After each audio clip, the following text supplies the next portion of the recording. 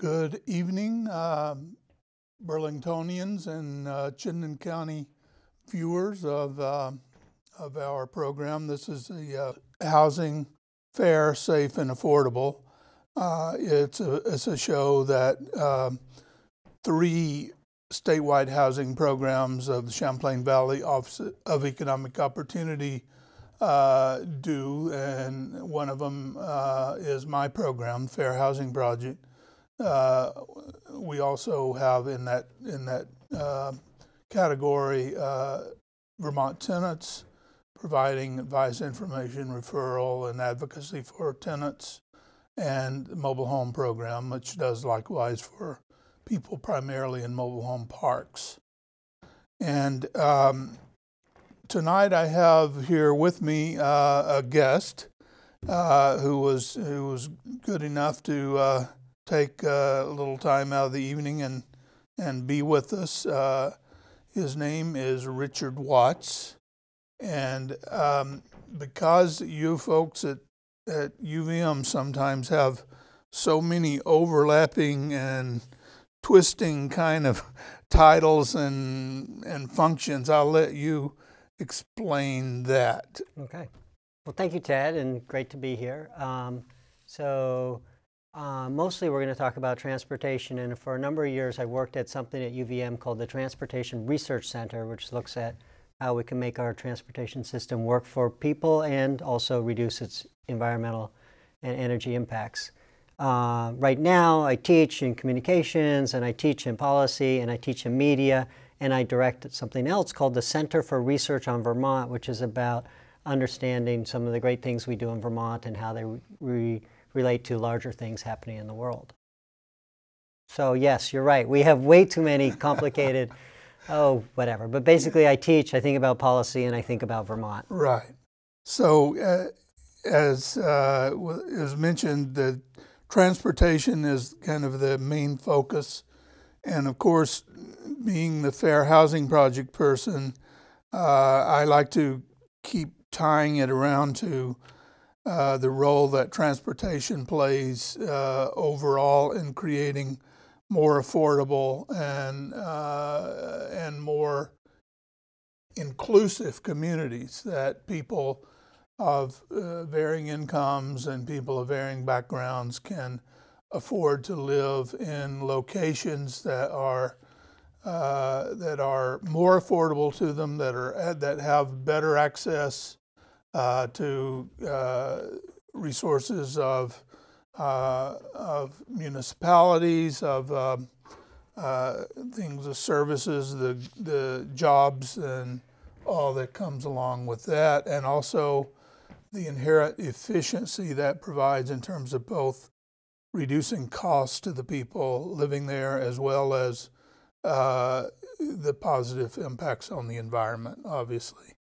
So, I guess uh, let me just start with a question uh, for you.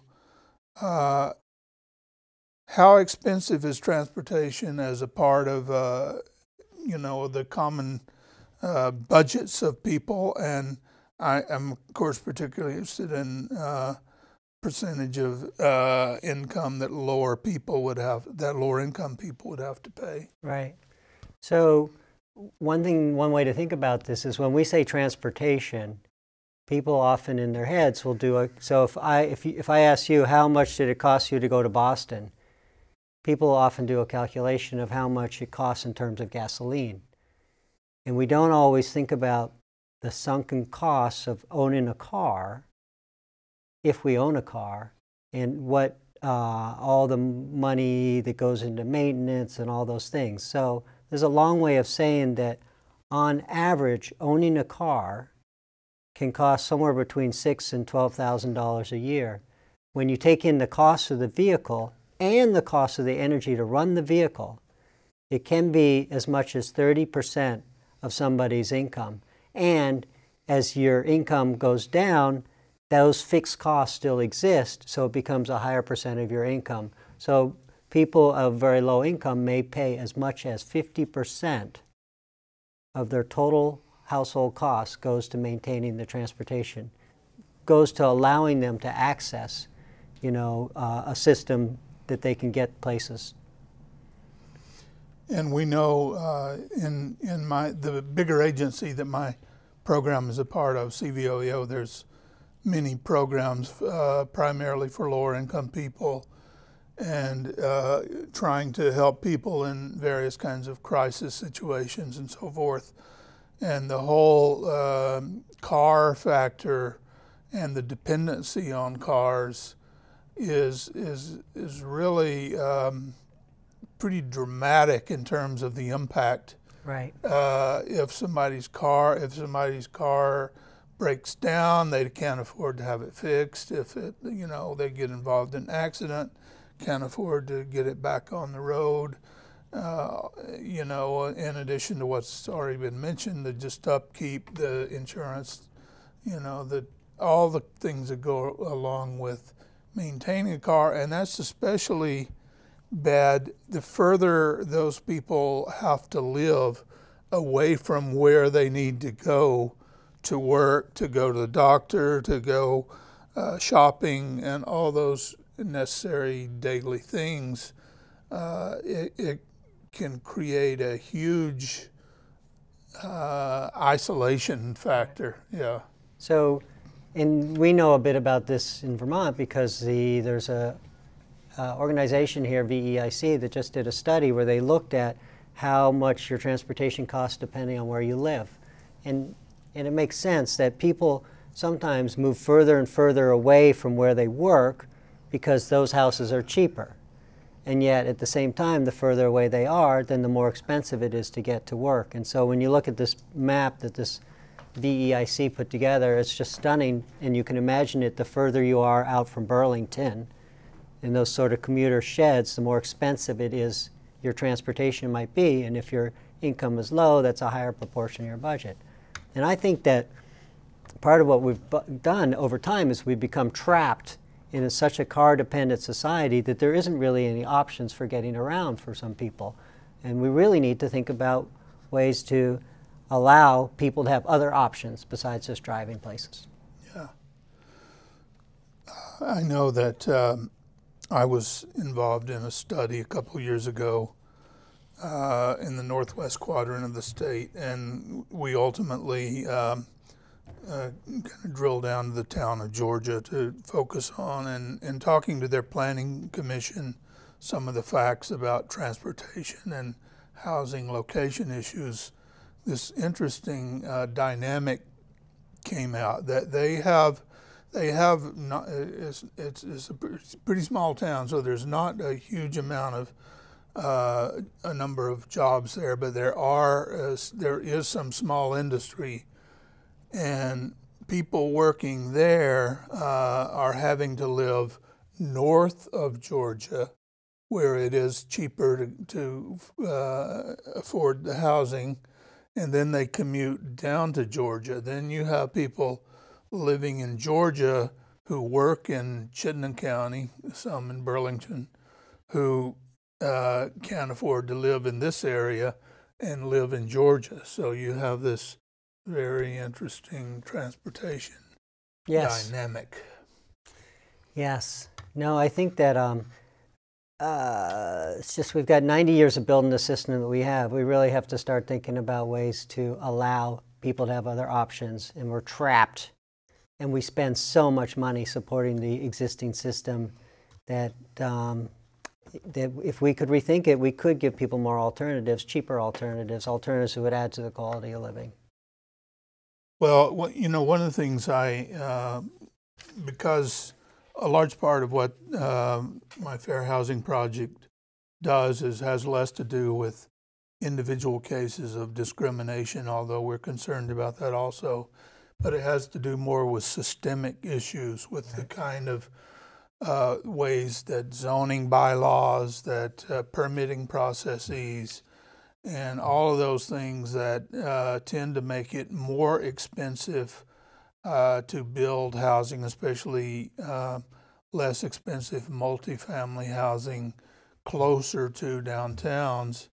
And uh, so it seems like it, it, when I talk about um, transportation issues. A, a lot of times, people, especially further out in the state in, in smaller towns, say, "Well, we're never going to be able to afford public transportation." And in, in some cases, maybe they actually could someday, but aside from that, given that they cannot, they, they most likely will not, at least in the near future, then you don't look at just the transportation, but you look at where housing is there for people.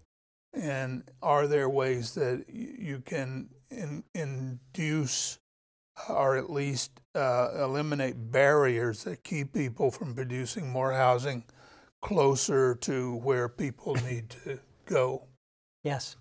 No, and sometimes we talk about this in transportation terms mobility, the ability to go anytime, anywhere you want, and access, the ability to access the things you need.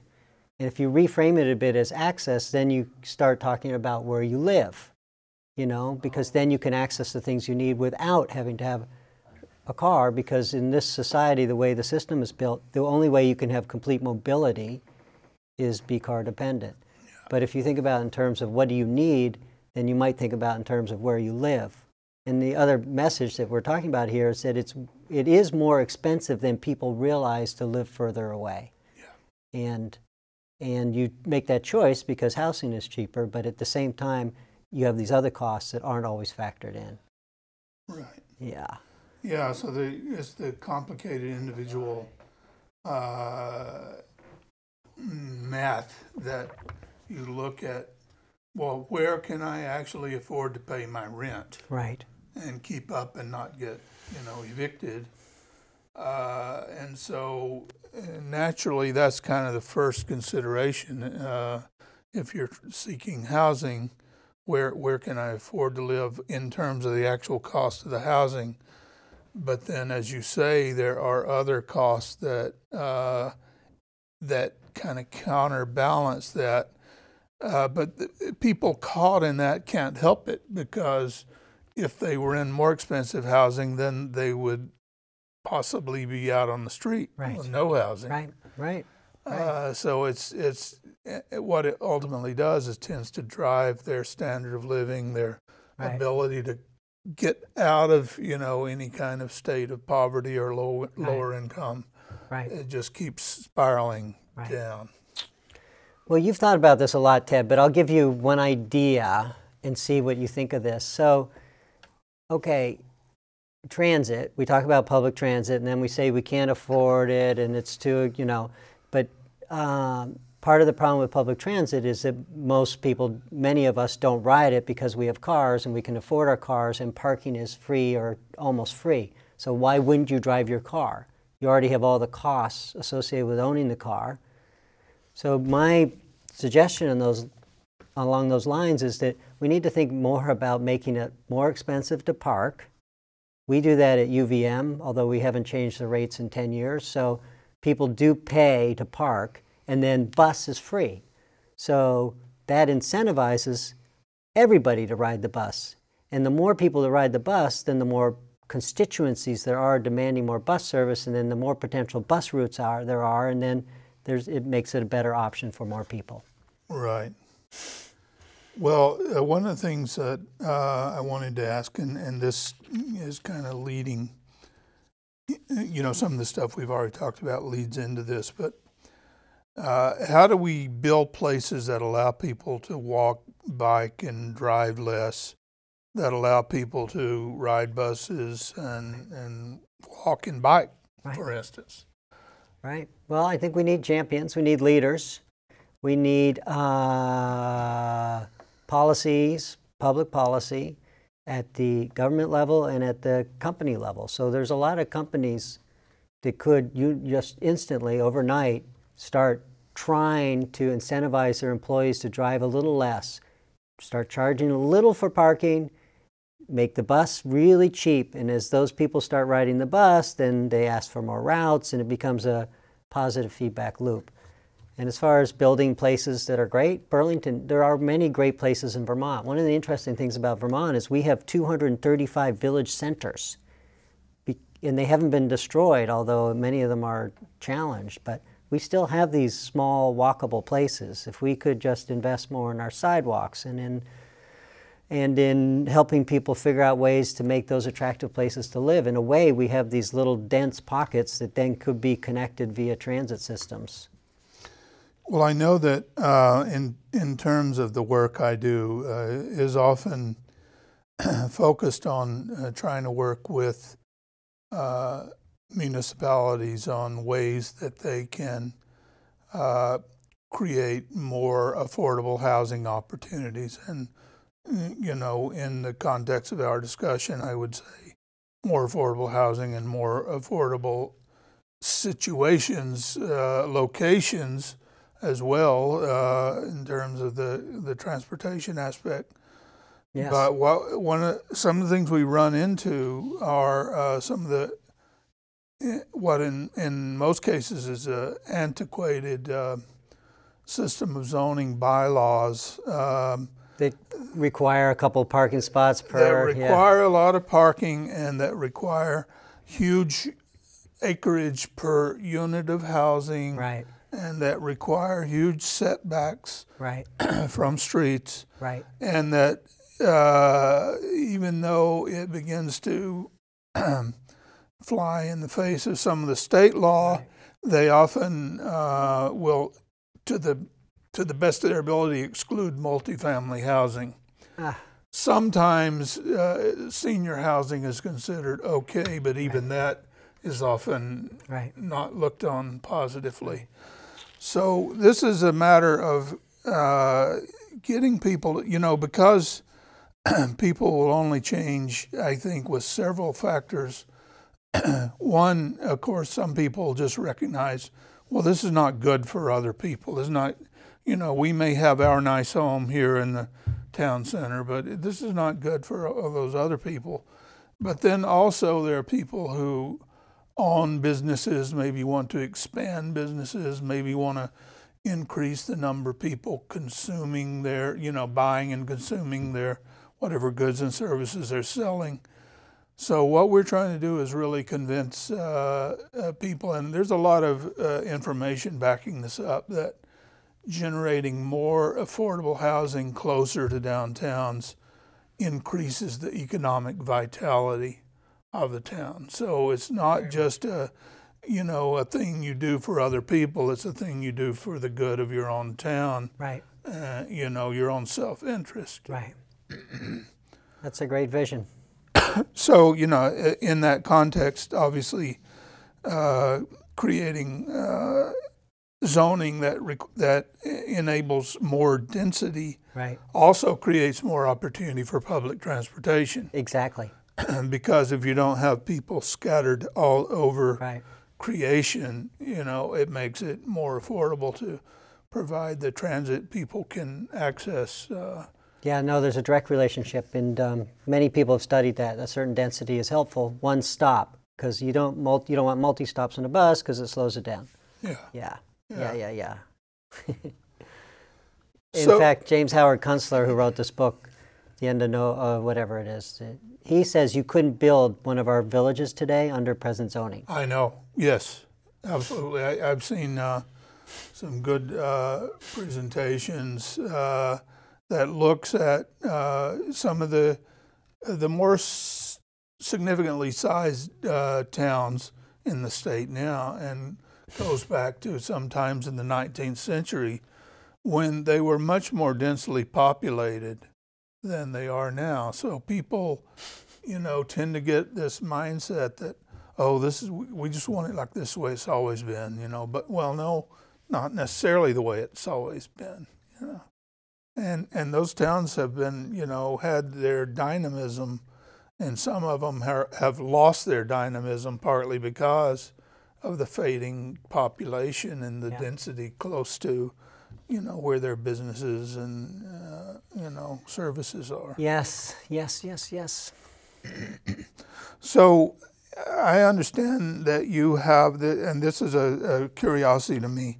I mean, I, I, have some ideas, but you have concerns about electric cars that are often uh, being promoted as the answer to uh, states' energy environmental impacts. Right. And uh, I'm curious uh, what your concerns are, and Right. if you can talk some about that. Sure, and ironically, I used to run an electric car project, but um, so I have two two concerns. I do think that electric cars are part of the solution to reducing this, the energy and environmental impacts of transportation. But what happens too often is that we lead with electric cars as the only solution, and that's because it's easier for policymakers because they're basically saying you don't have to do anything different. We're simply going to switch the fuel in the vehicle you drive. And what it does ultimately, so that's it's easy for policymakers to say we're going to electrify everything, but what it does ultimately is it takes those folks and the first adopters of electric cars are going to be the most impassioned about change. It takes that entire constituency out of doing alternatives. Because once you have a car, every study shows you're going to drive it. That's, that's why you have it. And you can't really encourage people not to use their cars. You can't really promote public transit. You can't really promote biking or walking if everybody is driving. And so you can, we can argue about the environmental benefits of, of electric cars from all the way from building them to the processing the plastic and mining the rare minerals you need for the batteries. But just putting that argument aside, what I am concerned about is that by saying electric car, electric car is the solution, it's undercutting these other solutions that we really need to do. And it leaves out people who can't afford to own a car, people who don't drive for whatever reason, those who are too young to drive, those who are too old. And we know now in this state that you outlive your ability to drive probably by seven to 10 years. So there's whole constituencies of people that aren't going to be able to fit into a car only world. And we need to start with the alternatives, work on those like crazy, and then say, and we can also do this. Yeah. That's my argument, Ted. Yeah, and you're sticking to it. Yeah. And you know, some of my environmentalist friends say, "Yeah, but you can't do it, Richard. It's a rural state. You know, we're all going to drive." And yes, there's always going to be driving, but why can't we at least try and start bending it a little bit to make the actual options more Yeah. viable? And, I- you know, I think it's important to, anytime you have a, a kind of a movement to replace one thing with another thing, but yet still have basically the same kind of systems, uh, you know, the same roads they run on, the same distances between locations. Then you have an added factor with electric cars of, uh, especially lower income people are not going to be able to afford them, at least for a long time. right. And so they're still stuck and maybe even worse stuck if it becomes harder to get, you know, Right. the only kind of uh, internal combustion car they can get are the kind of the dregs that are the, what they already get, unfortunately, Right. uh, that are eh, break down easily and cost use a lot of gas and And imagine if all those electric car drivers were riding on the bus and they were like, "We need every 15 minutes. This bus, the Wi-Fi has to work. right. This bus shelter is freezing." Yeah, yeah. get get some uh, you know heat panels up Yeah. there. Yeah. right. All right. So uh, we've already touched on a lot of this, but uh, I have a, uh, a question here. What are some of the consequences of our car dependence? And I don't know if you can Right. name any more than we've already Well, we touched on. So often we think about energy. So in Vermont right now, about 40%, 30 to 40% of all the energy we use is used in transportation. And because it's almost all purchasing gasoline, almost all of that leaves the state. And it's been identified as about a $1.5 billion leaky bucket. So we are spending Vermonters collectively almost $1.5 billion, all of which is exported out of the state. Okay, so there's an economic issue there. We haven't, and then there's the environmental impacts. So again, transportation is leading cause of greenhouse gas emissions in Vermont. There's also other things associated with what comes out of a tailpipe. Okay, but in addition to those, there's all these social factors that we have identified related to our car dependence. So, for example, as a country, we're getting heavier and heavier. There's a direct relationship between the fact that we drive more and more every year. Robert Putnam, the sociologist, did this, political scientist, did this fabulous work about relationship between your community and how much you spend driving. And he found statistically that every 10 minutes you spend driving, commuting away from your community, you're 10% less likely to be engaged in your local community.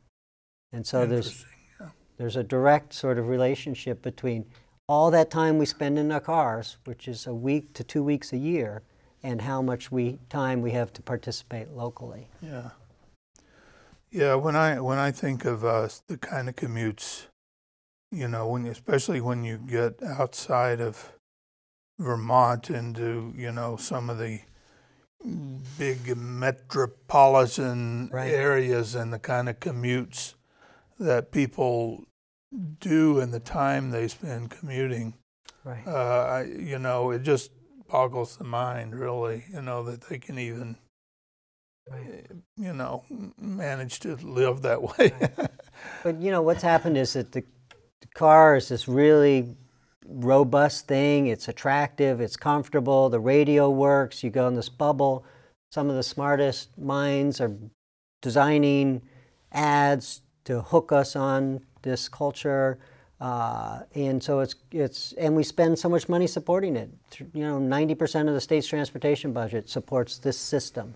So changing that is going to be really difficult. But I think that there's a whole lot of people who are left out of the system, and that's part of uh, why we need to change it. Yeah. well, it, it you know all of this is uh, is really like I, I really like to have a you know a holistic view and analysis of uh, the intersections between things like housing, housing location, housing cost, Right. transportation costs, and and clearly there's a, a very distinct link between where people live and uh, how much time they're going to be driving, if they have to drive at all, and Right. in some cases in the right locations, they might hardly ever have to drive, if at all. Right. Uh, but what we have in in Vermont, almost uh, in uh, different from uh, you know big metropolitan areas, you tend to have concentrations of very low income people in in abandoned downtown, abandoned by white people and people with money. Although there tends to be some reversing of that, which has its own problems with it. Yes. Yeah. Uh, Sure, yeah. But those people have to, uh, you know, in order to get to what to what they, in order to get to what they need to do, you know, because there's virtually no fresh food. There's, you know, uh, so few opportunities in so many ways there. They have to travel, and generally they do not, cannot possibly have their own cars Right. for the most part. Right. So they have to, you know, use overburdened and not well maintained uh, public transportation Right. to get out. Right. Then you have uh, people that more tend to be more white and more uh, higher income, you know, traveling into the suburban areas uh, and and sometimes some downtown areas. Right. And so this whole kind of segregation thing, that's both racial and socioeconomic, uh, feeds the transportation issue. It does. much. It does. And often these big infrastructure projects are located in poor neighborhoods. Yes. Oh, exactly. Uh, I mean that goes all the way back to you know the the late fifties, early sixties. indeed. Yeah.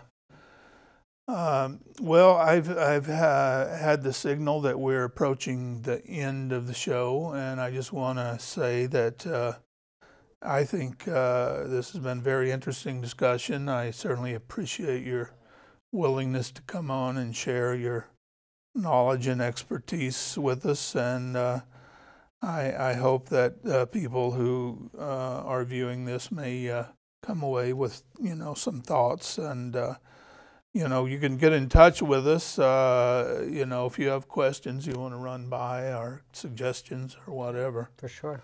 Um, so, Well, it's been my pleasure, Ted, and it's good for me to get reminded of all the housing issues and how well they connect with transportation. yeah, yeah, they, they really do. Thank you very much again. Thanks.